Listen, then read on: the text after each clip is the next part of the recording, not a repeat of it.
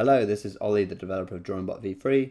In this video, we're going to look at some of the SVG optimization, conversion, and recoloring options we have available to us in DrawingBot. So if you generate SVGs in other softwares, um, a lot of the time the SVGs generated won't be properly optimized for pen plotting, which means that the pen will be traveling far further than it needs to and the plot will take a lot longer than is necessary. There'll also be a lot more pen up and pen down moves which is going to uh, produce more wear on the plotter itself. So it's good to optimize the SVG um, to reduce yeah wear on the plotter, but also the time it takes to plot. Um, with DrawingBot, it's incredibly easy to optimize an SVG. All we need to do is drag the SVG into DrawingBot. It will import and turn it into a drawing. And then all we need to do is go to File, uh, Quick Export SVG. Um, if you don't have SVG enabled as your Quick Export, simply go to export per drawing and then SVG. Um, and then if we hit save, you'll see we get a new pop-up which will show um, the SVG optimization process. So you'll see that the original SVG, um, our plotter was going to have to travel 403 meters, um, but now it only has to travel 206 meters. And this is because DrawingBot has optimized the order of the shapes to minimize that travel time. Um, you can see also the pen is only going to be lifted uh, 268 times, whereas before it was over 500. If we zoom in, we can see that DrawingBot has um, added moves. So each green line is a move. And you can see a lot of our moves are just um, between lines that are much closer together. So this is um, really um, minimizing the amount of uh, time that the pen will be in the air and not drawing and is going to really uh, speed up the plot. Um, so all we would need to do is send that new SVG we've imported. We can quickly go to open folder or open to see that new SVG. Obviously it'll also, it will just be in the folder that we saved it in. Um, and so we can just send that to our plotter and it will be much easier to plot. It is worth mentioning for more advanced users, you can also uh, change the settings of this optimization process by going to File, Preferences, and then path optimization. Um, in here, we can quickly make some changes and improve um, our path optimization results. Um, all of these settings are fairly self-explanatory and have many explanations to show you what each of them do. I'd also like to mention line multipass at the bottom. Um, if we change passes to two, this means every shape in our drawing will be drawn over twice by the pen. Um, so if we were to export this now, we will see that the pen will be traveling twice the distance, so we're up to 400 meters. And this is because the, each line is being drawn over twice. Um, so this is good if your um, your pen doesn't have a very consistent ink flow, or if um, your your plotter is moving too fast for your pen to keep up. Um, so that's another good option to be aware of line multipass. Next, we're going to look at the SVG recoloring options we have available to us. As you can see, when we imported the SVG, our pathfinding module was switched to SVG converter, and in this pathfinding module, we can find the controls for the SVG conversion process. For now, we're going to ignore some of these options. We're going to get into them later in the video. Um, the only option we're wired with for now is derived drawing set, as this will help with the recoloring process. When derived drawing set is enabled, um, the pens that appear here will be the ones in the original SVG. However, if we disable derived drawing set, um, now we can actually use our own pens to draw this SVG. So let's, for example, select um, um, this set here. Then all we need to do is hit start one more time. Um, and now that the SVG is being drawn with our own pens, we can go from distribution type pre-configured to even weighted. And now you can see the SVG is being drawn with our own pens. So the process for doing that was simply, again, disabling derived drawing set, adding our own pens, running it one more time, and then changing our distribution type to even weighted. Um, we can also, for this SVG, I think uh, random weighted might be a better choice. So you can see the colors alternating for the lines, and this is creating quite a cool effect with this SVG. Um, we can still edit the colors used, so we can quickly change and create new styles. Um, we could even use many more pens, a full set of pens, for example. Um, let's go back to uh, just, um, let's go to this set here. Um, Obviously, all of the normal weighting tools are still available to us, so we could increase the weight of the blue pen, for example, and we're getting far more blue lines. Um, so you can see how we can very quickly uh, change the color in our SVG. Um, obviously, this is best used for SVGs that started as a single color, and now we want to add our own special colors to them. And again, we can go to File, Export, and that new SVG will have uh, the five layers of the five pens we've used. As you can see, the SVG optimization process didn't reduce the travel time as much as before. This is just because we have multiple pens and often the nearest line won't be being drawn with the same pen. Next, we're going to look at some of the resizing options we have available to us. Of course, these are just the standard DrawingBot positioning tools, but all of these can be used for SVG as well. So if we disable use original sizing, we're then going to be positioning our SVG on A4 paper. If we switch back to image, we can actually see what we're doing to the SVG. So let's maybe go from, let's set scale to fit. So now we're positioning the SVG on an A4 paper. Um, you'll see that in this view, the SVG is much lower quality. This is just because we're just using a low quality version of the SVG just to show the cropping changes we're making. We can change obviously the padding um, and we can hit start and then we get our drawn SVG but this time it is positioned onto the A4 paper. We could also change to A1 paper and run it again. You can see now our lines are much smaller. This is because we specified a 0.3 uh, millimeter pen here but if we were drawing this on A1 maybe we could use a 1 millimeter pen instead and we can see we're getting a better result. So you can very quickly see what the SVG is going to look like on different size paper um, and set the pen size and play around with what, what size would work best. So that's a quick look at some of the repositioning tools. We can also crop our SVG. So if we go to um, image processing here and then go to edit, um, we can see that we can actually crop our SVG. So we could bring in the sides here,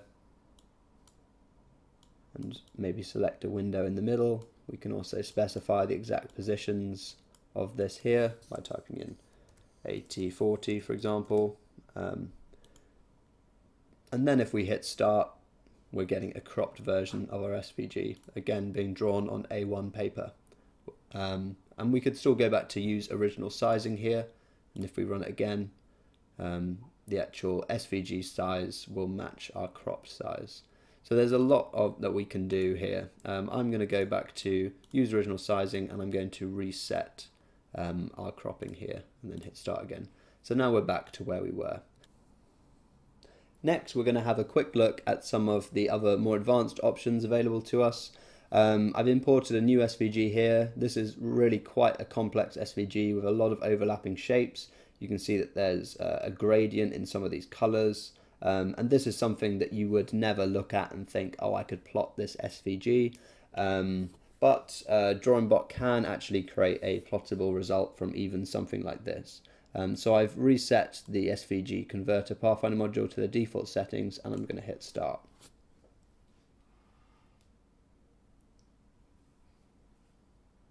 And we'll just let this finish. But as you can see already, DrawingBot is creating something that we could actually plot. Um, it is creating hatch fills for all of the shapes in the car and drawing around the outlines. So even though we've given it a really complex SVG to work with, this has produced something that we could actually plot, which is really cool. Um, we can change some of the fills, so we could, for example, increase the spacing between the fill lines. So if we run that again, we'll see that we're creating far fewer lines in our filled areas. We could also um, reduce the rotation, so we could uh, make our max rotation zero, and if I let the current one finish, can see that's with uh, cross-hatching, but with a random rotation. Now we're going to have no rotation. So this is an example uh, without any rotation, so I've set the min and max rotation to zero. And now I'm going to show you an example without cross-hatching enabled. If I disable cross-hatching and run it again. Now you can see with this one, um, again, we've generated much fewer lines and increased the spacing.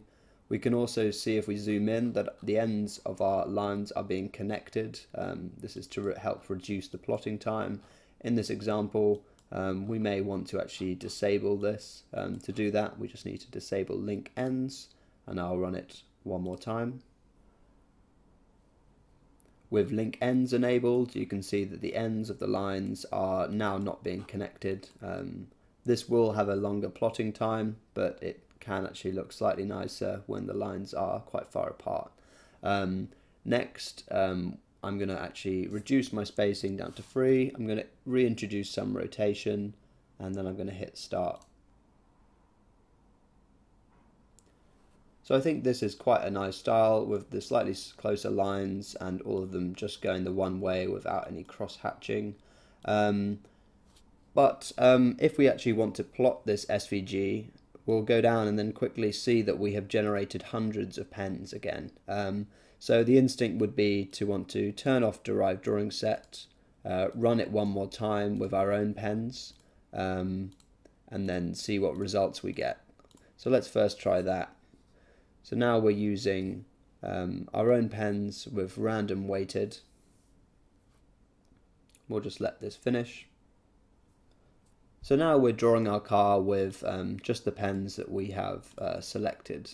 However, this isn't a very good representation of the original SVG in this case, um, because the car has very specific colours.